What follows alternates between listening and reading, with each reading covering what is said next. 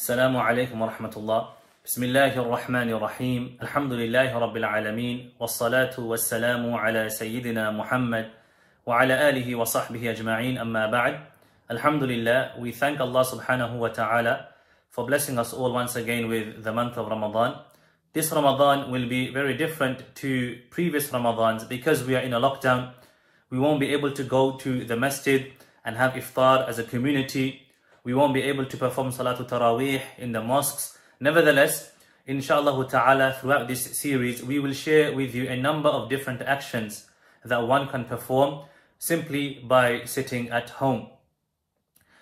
Um, we will begin with the most obvious one, the one that all of us will be performing inshallah, and that is fasting. You all know that fasting in the month of Ramadan is a pillar of Islam. And it is one of the greatest acts of worship that a person can perform. There are a number of ahadith on the virtues of fasting in the month of Ramadan. I will share just one with you today. The Prophet wasallam says, "Man sama Ramadana imanan wa ihtisaban, ghufira lahu ma taqaddama min dhanbih." The Prophet wasallam says, "Whoever fasts during the month of Ramadan with iman ihtisaban and with sincerity, Allah subhanahu wa ta'ala will forgive all of his previous sins." Now, what is meant by sincerity in this hadith?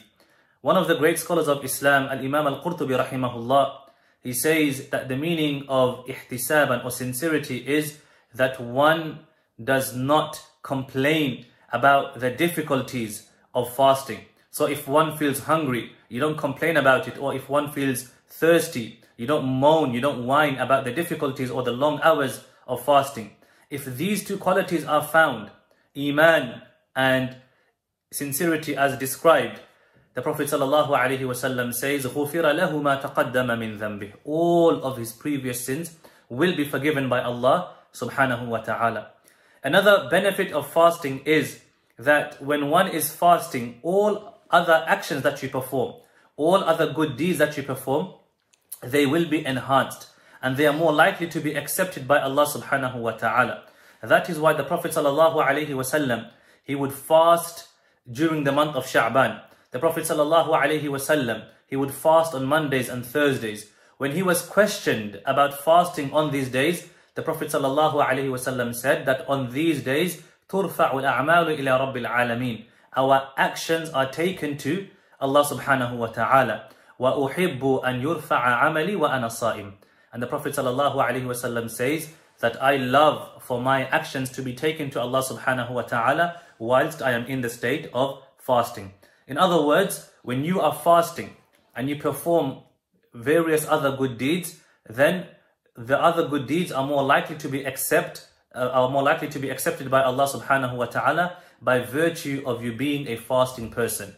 And inshallah ta'ala, we will be sharing with you a number of different actions that you can perform whilst you are fasting and by simply being at home. There's one more thing which is very important to remember. Just as fasting is a very virtuous act that one can perform, it's also very important that we don't ruin our fasting. We don't ruin our rewards. The Prophet ﷺ says, whoever cannot abstain from saying or doing wrong, saying or doing evil whilst fasting, Allah subhanahu wa ta'ala is in no need of his fast. Allah subhanahu wa ta'ala is in no need of him to stay away from food and drink if he cannot stay away from saying or doing evil. We ask Allah subhanahu wa ta'ala to allow us to fast throughout the month of Ramadan and we ask him to accept from us our fasts and all other actions that we perform. Wassalamu alaikum wa rahmatullahi ta'ala wa barakatuh.